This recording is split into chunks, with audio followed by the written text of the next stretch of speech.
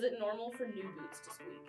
It's totally normal and almost expected. How can I stop my boots from squeaking? Just proper maintenance, really. Will the squeaking go away on its own? Usually it'll go away on its own, though trouble cases you might, you know, reach out. How can I prevent my boots from squeaking in the?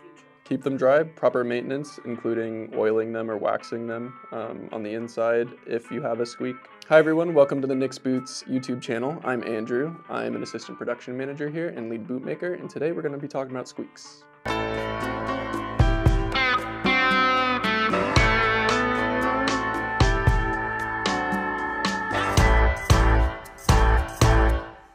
Why do boots squeak? Um, first off, they're made out of leather. A lot of leather goods will just squeak in general. You know, car seats, leather boots, leather pants, leather jackets. They all squeak. It's a natural material. Um, there's a lot of like fibers and things, and so they tend to rub together in places that cause squeaks. So as you start stacking some of these layers together, naturally over time they're going to rub. Also, it takes a little bit of time for the leather to soften a bit as you're kind of breaking it in. So fresh out of the box, a boot will tend to squeak until it settles down quite a bit.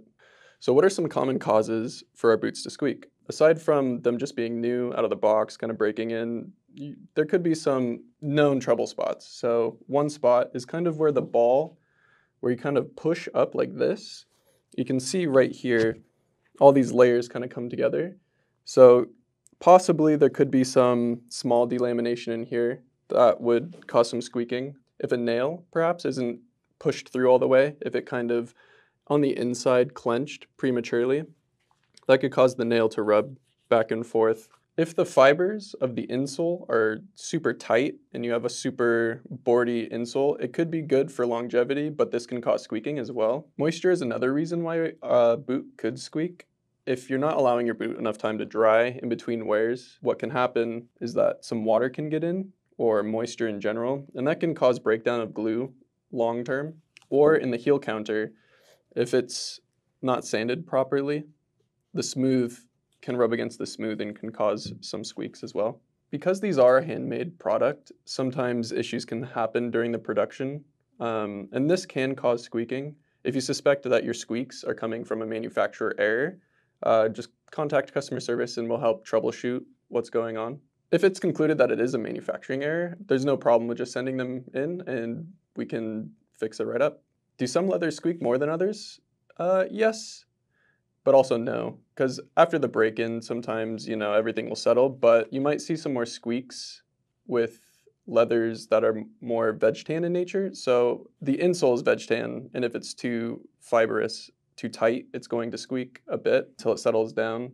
But also if you have some of these more treated, like the waxed flesh or the double stuff, those can squeak out of the box as well. All this is a normal part of the break-in process. Anything that persists past the break-in process, we can look into, but usually they'll kind of settle themselves down. Why would you want to buy a boot that has the possibility of squeaking?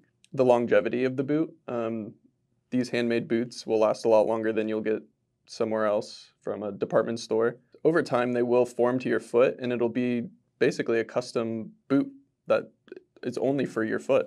So as the boot loosens up and really gets super comfortable, that's around the time that most squeaks will kind of transition away as well. So out of the box, it may be more noisy and less comfortable. Over time, the squeaks will go away and the comfort will increase. If you're concerned about squeaks, we do have other options of models. Our 360s, they have a rubber insole and that will lessen the squeaks out of the box. They have a veg tan insert that you can place in there. So you're not losing anything.